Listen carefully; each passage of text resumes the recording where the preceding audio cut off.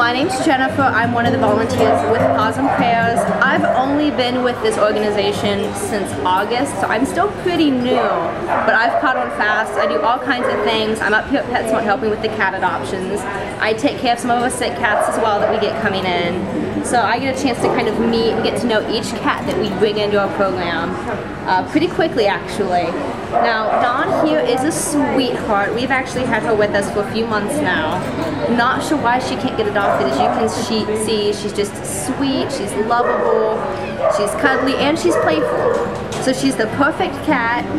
But for some reason, she's just getting overlooked by some of the other ones we have had. She has been with us, I think, through two adoption weekends. PetSmart every couple months does an adoption weekend. But we lower our adoption prices on our cats. So she's had two weekends, Friday through Sunday, where she has been only $25 adoption fee. And as sweet as she is, she's still stuck here with us. Uh, you can see just how sweet and loving she is. Like I said, you can hug her, you can do just about anything you want with her. She doesn't really seem to mind. Good with dogs, good with cats. Yeah. Can I look at them smile? And if somebody wanted to adopt Dawn, how would they go about doing that? Well, one way they could do it is come in here to PetSmart, uh, get a hold of any adoption specialist. You'll see them wearing our Paws and Prayers shirts. Uh -huh. If none of us are here, get a PetSmart employee. They will be more than glad to open the cage, let you get a chance to meet the cat, get to interact with them. And then you just come up, you're gonna fill out an adoption application. If we find that you're a good fit for the cat, then you will get the chance to finish filling out all the other forms. Or you can go to our website, it's www.pawsandprayers.org. On the left hand side you'll see a link there where you can look at all the available cats we have, those that are here in the store or in foster homes. Dawn is listed on that website. Fill out an adoption application online as well. So you don't even have to come to the store, you can do it online. Usually within 24, 48 hours someone will get back with you about whether you are accepted for the adoption or not. So then we can get the process rolling that way as well.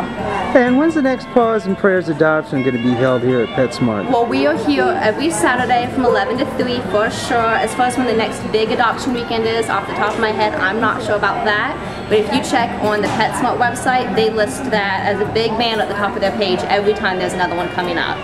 And like I said, they do those every couple months is when they do that. So we just got done with one at the beginning of November, so probably I'd say January or February would be when the next one rolls around. And it's a three-day event, Friday through Sunday. We have all kinds of cats up here, all kinds of dogs.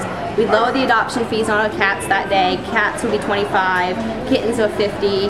So it's a great chance to come up, get a lot of cats placed into good homes, and do it at a price that's more affordable for you as well. Alright, well this cat here is Marilyn. Now she is a great example of how we don't just take in your regular average cats. We also bring in cats that have some form of defect, aren't completely perfect.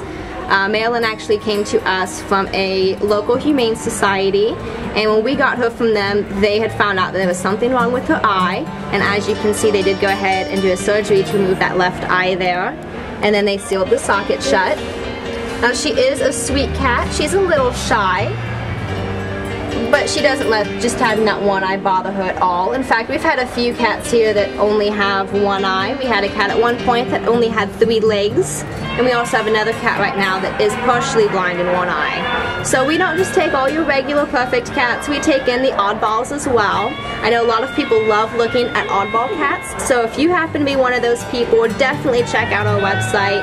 Come in, see the cats we have. Maybe one of them will end up finding their forever home with you.